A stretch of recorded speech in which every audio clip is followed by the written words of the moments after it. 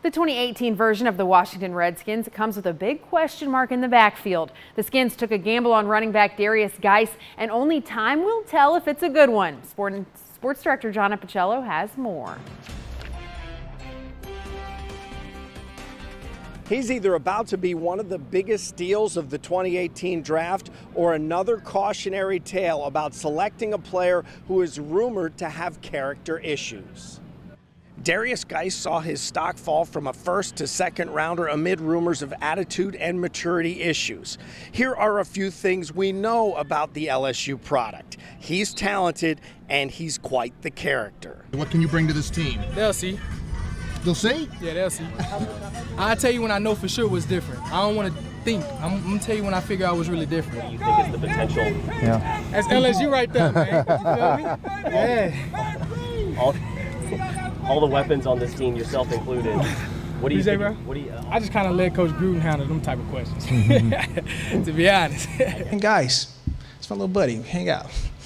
Try to keep him on the straight and narrow. Uh, so yeah, he. Um, he is definitely going to come around and he's going to show some people out. He really is. He's so eager to learn, though. He's just like a kid, just energy all day, like energy ball. Level off, level off. Nice. Guice was the Redskins' 59th pick in the second round. He joins a small army of running backs that include Rob Kelley, Samaje Perine, and Chris Thompson. It's sure to be the most watched competition in camp. You know, you talk about first, second down backs. We got, you know, three, four of those guys. We have guys that can come out of the backfield protect. We have three of those guys. You know, we have a couple guys that can do a little bit of everything. So it's a very interesting group, very exciting group to me. They're all great kids. They all work extremely hard. But at the end of the day, it's going to be about the guy who protects the football, the guy who can protect the quarterback, and then make the tough runs, runs after contact, and we'll let it play out and, and go from there. Hey man, I got drafted for a reason, you know, to, to help the rushing attack, and that's what we're gonna try to do.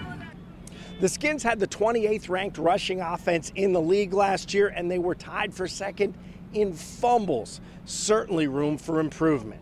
In Richmond, John Appicello, 10 Sports.